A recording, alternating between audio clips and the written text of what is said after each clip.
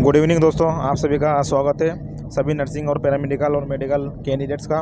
दोस्तों, कैसा लगेगा आपको जब आपको पता चले कि आपने तीन साल मेहनत करके, चार साल मेहनत करके नर्सिंग की डिग्री ली है डिप्लोमा लिया है, काफ़ी मेहनत आपने की है और अब आप उम्मीद कर रहे हो डिग्री और डिप्लोमा आपके हाथ में आने के बाद में कि गवर्नमेंट जो है यहाँ पर वैकेंसी निकाले गवर्नमेंट की और उसमें आप जो है यहाँ पर सिलेक्शन लो और अपने जो फैमिली है, उसको यहाँ पर एक अच्छी पोजीशन दे सको। लेकिन यहाँ पर जो है धक्का जब लगता है, जब आपको पता चले कि गवर्नमेंट जो है वैकेंसियाँ तो निकाल रही है, लेकिन उसमें यहाँ पर बुज़ुर्गों को रिटायरमेंट जो ऑफिसर्स होते हैं गवर्नमेंट उनको यहाँ पर प्राथमिकता दी जा रही है। और जो बेरोजगार अभ्यर्थी है फ्रेशर अभ्यर्थी है, नौजवान जो बेरोजगार अभ्यर्थी है, जिनको वाकई में नौकरी की ज़रूरत है उनको कहीं ना कहीं यहाँ पर दन किनार कर दिया जा रहा है, उनको यहाँ पर जो है बाहर कर दिया जा रहा है भर्तियों से।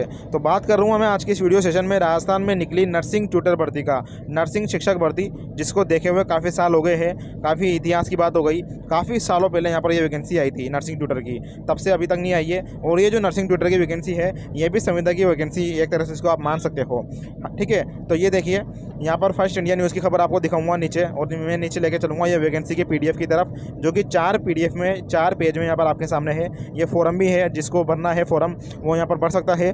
इसकी वीडियो मैंने लगभग तीन या चार दिन पहले आपके सामने के लिए बना दी थी। तो यहाँ पर Rajasthan private nurses association Rajasthan nursing officer association इनकी तरफ़ से ज्ञापन दिए जा रहे हैं, विरोध किया जा रहा है। मैं आपको अभी वीडियो भी बताऊँगा, प्रदेश अध्यक्ष जी ने क्या कहा। तो सबसे पहले ये देखिए, मैं आपको लेके चलता हूँ। चार दिन पहले हमने ये वीडियो बनाई थी नर्सिंग ट्यूटर संविदा भर्ती। ठीक है? Rajasthan nursing tutor contractual vacancy संविदा भर्ती। ऑफलाइन इसमें आपको आवेदन करना है। सभी नर्सिंग अभ्यर्थियों को यहाँ पर अप्लाई करना है। तीस हज़ार यहाँ पर आपको सैलरी दी जाएगी इसमें प्रति महीना, ठीक है? और इसमें जो है BSc nursing MSc nursing post basic BSc nursing apply कर सकते हैं। तो ये तो हमने बनाई थी जानकारी के लिए। अब इस भर्ती का विरोध शुरू हो चुका है। तो क्या कुछ देखिए? ये उम्मीद करेंगे हम आपसे कि आप इस तरह की वीडियो को ज़्यादा से ज़्यादा शेयर करो, ताकि जो है सभी लोगों को यहाँ पर जो है जागरूकता अपन फैला सके। सेवानिवृत्त नर्सिंग ट्यूटर चलाएँगे। केकड़ी का nursing college Kekri nursing college में यहाँ पर 16 ट्यूटर के लिए वैकेंसी निकाली गई। तीस हज़ार रुपये मासिक मानदेय पर यहाँ पर भर्ती हो रही है, जिसका विरोध के शोर यहाँ पे लगातार जारी है।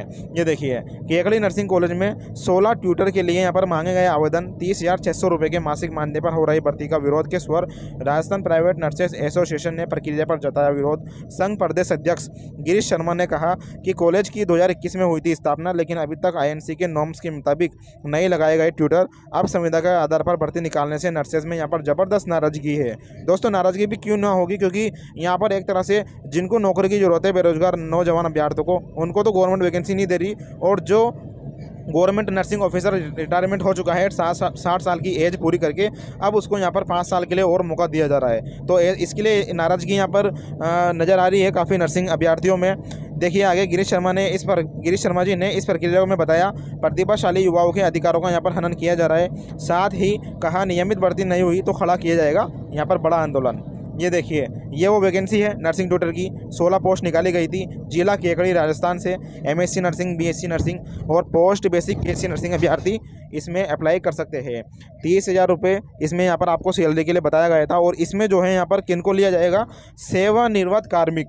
मतलब जिन नर्सिंग ऑफिसर ने साठ साल की एज पूरी कर ली है और वो भैया घर बैठ चुका है, अब उसको यहाँ पर आराम की ज़रूरत है, अपने फैमिली के साथ समय बिताने की ज़रूरत है। लेकिन गवर्नमेंट उनको और मौका दे रही है कि आप आइए, साठ साल से पैंसठ साल की उम्र तक यहाँ पर जो है आपको पता होगा काम कर सकते हैं। जो रिटायरमेंट ऑफिसर होते हैं अपने राजस्थान में, वो पैंसठ साल तक की उम्र तक यहाँ पर काम कर सकता है। आपको मैं बता दूँ, पाँच साल के लिए संविदा पर। तो ये उसी तरह की वैकेंसी है पुनः नियुक्ति के आधार पर, समेकित परिश्रमिक के आधार पर। इसकी जानकारी मैंने पिछली वीडियो में बताई थी। आप एक बार उस वीडियो को ज़रूर देखना और इस वीडियो को अधिक से अधिक शेयर करना।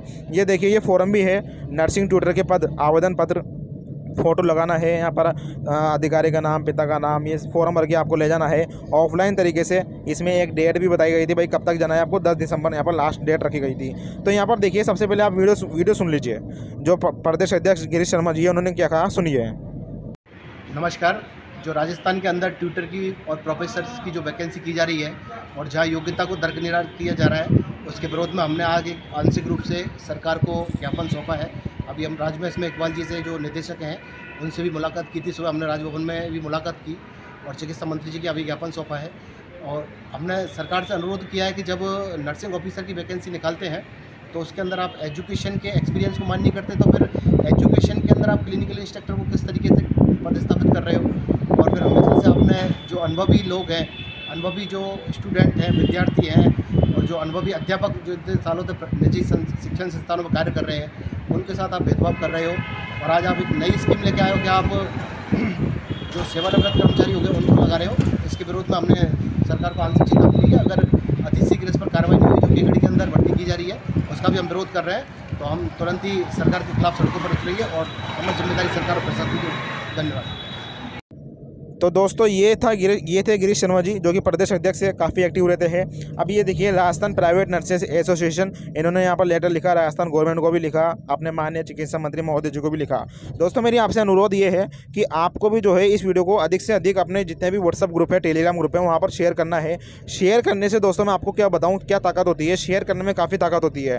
ताकत किन किन चीज़ों से यहाँ पर सरकार को समझ में आती है? देखिए, पहली बात तो यह है कि जो न्यूज़पेपर में अपन खबरें निकालेंगे, उससे काफ़ी इफ़ेक्ट पड़ता है अपने अपने राजस्थान सरकार पर, है ना? उनके डिपार्टमेंट के ऊपर, विभागों के ऊपर। और दूसरा ये है कि जितने ज़्यादा अपन यहाँ पर न्यूज़ अपने यूट्यूब चैनल पर अपने ये जो न्यूज़ चैनल होते हैं, वहाँ पर लगवाएँगे तो उससे भी जो है यहाँ पर चिकित्सा विभाग नींद से जागता है, या फिर अपना कोई सा भी विभाग हो, वो नींद से जागता है।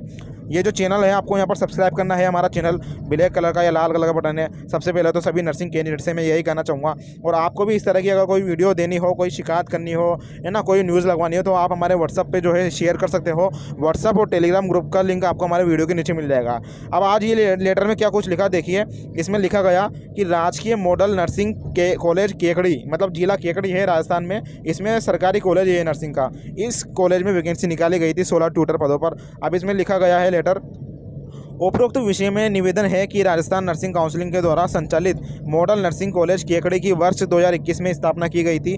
किंतु आज दिनांक तक उक्त नर्सिंग कॉलेज में इंडियन नर्सिंग काउंसिलिंग के नॉर्म्स के अनुसार किसी भी प्रकार के शिक्षकों की भर्ती नहीं की गई। माननीय महोदय, उक्त सभी नर्सिंग कॉलेज में बीएससी नर्सिंग की सौ सीटें हैं, जिसमें नॉर्म्स के अनुसार एक प्रिंसिपल एक वाइस प्रिंसिपल एक प्रोफेसर तीन एसोसिएट प्रोफेसर और पंद्रह नर्सिंग यहाँ पर ट्यूटर की आवश्यकता होनी चाहिए।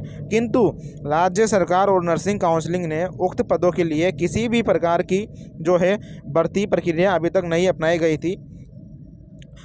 और इसके अलावा इसमें कहा गया कि नर्सिंग काउंसलिंग ने उक्त पदों के लिए किसी भी प्रकार की भर्ती प्रक्रिया अभी तक नहीं अपनाई गई थी। किंतु दिनांक 21 नवंबर 2024 को मॉडल कॉलेज केकड़ी के प्रधानाचार्य द्वारा नर्सिंग ट्यूटर्स की भर्ती निकाली गई। जिसमें तीस हज़ार मासिक प्रतिमा दिया जा रहा है। किंतु इस भर्ती में नव युवकों को विशेष अधिकारों का हनन हुआ, क्योंकि उक्त भर्ती प्रक्रिया में जो योग्यता रखी गई है, उसमें गवर्नमेंट, रिटायरमेंट कर्मचारी को ही लिया जा रहा है। माननीय महोदय, पिछले पचास सालों में नर्सिंग कॉलेज में यह पहली भर्ती है जो राज्य सरकार के द्वारा निकाली गई। किंतु इसमें भी बीएससी नर्सिंग ग्रेजुएट और एमएससी नर्सिंग ग्रेजुएट को शामिल नहीं किया गया। उक्त छात्र अभी तक अपने अधिकारों का हनन महसूस कर रहे हैं, ठगा महसूस कर रहे हैं और हमारी विनती है कि राज्य सरकार इस पर ध्यान दे और जो वादे किए गए थे उनको पूरा करे जिससे कि राजस्थान के युवा इस भर्ती प्रक्रिया में शामिल हो सके। धन्यवाद इन्होंने लिखा है और इस तरह के लेटर इन्होंने एक और लिखा है। प्रेस विज्ञप्ति भी इन्होंने जारी की थी आज कि जो कॉलेज में निकाली गई सौ सीटें हैं, ये कुछ सभी चीज़ें हैं और इस भर्ती का जो है यहाँ पर विरोध किया जा रहा है। ये देखिए राज्य सरकार से मांग भी है, इस ओर ध्यान दें। जो वादे किए गए थे, उनको पूरा करें और युवा इस भर्ती प्रक्रिया में शामिल हो सके। इसके लिए दोबारा से प्रक्रिया शुरू की जाए। संपूर्ण राजस्थान में भर्ती प्रक्रिया का विरोध प्रदर्शन किया जाएगा। विभिन्न नर्सिंग संगठनों, global foundation, Rajasthan graduate nurses association, Rajasthan संविधान नर्सिंग एसोसिएशन ने भी यहाँ पर भर्ती का विरोध किया है, दोस्तों। तो ये जानकारी थी। हमने सोचा आप तक पहुँचानी चाहिए, क्योंकि हो सकता हो कि ये जो सोलह पदों पर नर्सिंग ट्यूटर की वैकेंसी निकली है, इसमें फेयर बदल कर दे ये कुछ।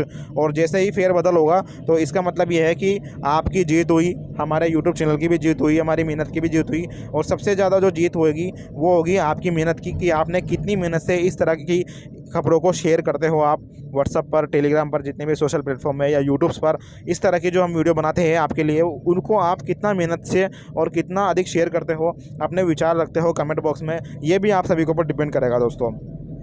तो ये जानकारी थी, अब इसके ऊपर आपके क्या विचार है, ये बताना मेरा पॉइंट ऑफ़ व्यू मैं आपको बताऊँ तो इस तरह की देखिए वैकेंसी निकलती है गवर्नमेंट नर्सिंग ट्यूटर की तो देखिए, राजस्थान में वैसे ही सालों से वैकेंसी नहीं निकली, पहली बात तो ये नर्सिंग ट्यूटर की। नर्सिंग ऑफिसर की तो फिर भी हर पाँच साल में वैकेंसी निकाल देती है गवर्नमेंट। लेकिन नर्सिंग ट्यूटर की वैकेंसी अभी तक काफ़ी लंबे समय हो गया, अभी तक नहीं आई है। और अगर इस तरह की संविधा की वैकेंसी लेती है गवर्नमेंट तो कम से कम इसमें बेरोजगार अभ्यर्थियों को यहाँ पर मौका देना चाहिए। अब सेवानिवृत्त कर्मचारियों को आप ले रहे हो रिटायरमेंट कर्मचारियों को, उनको, उन्होंने साठ साल अपनी जो जॉब की है, गवर्नमेंट के अंदर, सरकार के अंदर रह सरकारी जवाई बन के तो कम से कम उनको यहाँ पर जो है एक तरह से वो भी सोचते होंगे कि यार अब वो क्यों आएँगे इसमें? ठीक है? क्योंकि उनको भी यहाँ पर आराम की ज़रूरत होती है। साठ साल अपने राजस्थान में या यूँ कहे पूरे इंडिया में रिटायरमेंट की एज है। साठ साल की जो आयु में यहाँ पर रिटायरमेंट कर दिया जाता है। लेकिन सरकार यहाँ पर उनको पाँच साल के लिए और मौका दे रही है कि आप आइए पाँच साल और काम करिए हमारे साथ संविदा पर नर्सिंग ट्यूटर पर। ठीक है? तो ये चीज़ होती है। माना कि, कि नर्सिंग ट्यूटर में जो क्वालिफिकेशन मांगते हैं ये ये सीनियर को लेते हैं। लेकिन सीनियर में देखिए दोस्तों और भी अभ्यर्थी है जो बिना, जो रिटायरमेंट नहीं है, जैसे कि एम नर्सिंग है, अपने पीएचडी वाले भी है, काफ़ी सारे पोस्ट बेसिक बीएससी नर्सिंग वाले भी है फ्रेशर या फिर उनके पास एक्सपीरियंस भी होता है पढ़ाई का तो उनको भी यहाँ पर जो है मौका मिलना चाहिए। ये मेरा पॉइंट ऑफ़ व्यू है।